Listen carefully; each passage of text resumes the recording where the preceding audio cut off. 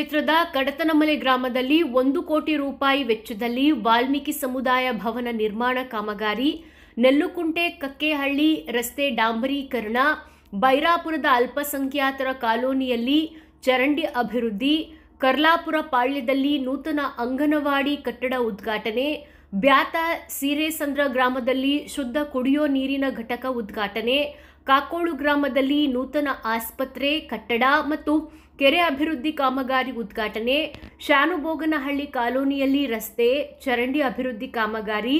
ಮುತ್ತುಗದಹಳ್ಳಿ ಗ್ರಾಮದಲ್ಲಿ ಜಲಜೀವನ ಮಿಷನ್ನ ಮನೆ ಮನೆಗೆ ಗಂಗೆ ಯೋಜನೆ ಉದ್ಘಾಟನೆ ಸೇರಿದಂತೆ ಸುಮಾರು ಎರಡು ಪಾಯಿಂಟ್ ಐದು ಕೋಟಿ ರೂಪಾಯಿ ಅಂದಾಜು ವೆಚ್ಚದ ವಿವಿಧ ಅಭಿವೃದ್ಧಿ ಕಾಮಗಾರಿಗಳಿಗೆ ಯಲಹಂಕ ಕ್ಷೇತ್ರದ ಅಭಿವೃದ್ಧಿ ಹರಿಕಾರರು, ಜನರ ಕಷ್ಟಕ್ಕೆ ದಿನನಿತ್ಯ ಸ್ಪಂದಿಸೋ ನಾಯಕರು, ಶಾಸಕರಾದ ಸನ್ಮಾನ್ಯ ಶ್ರೀ ಎಸ್ ಆರ್ ವಿಶ್ವನಾಥ್ ರವರು ಗುರುವಾರ ಭೂಮಿ ಪೂಜೆ ನೆರವೇರಿಸಿದರು.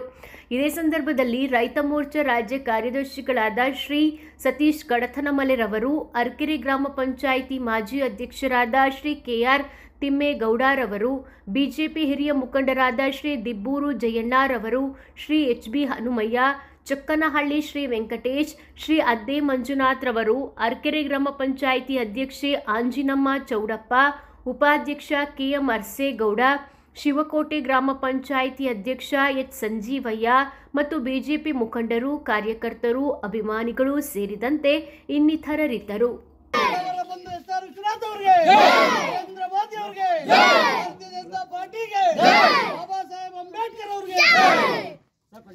profesional.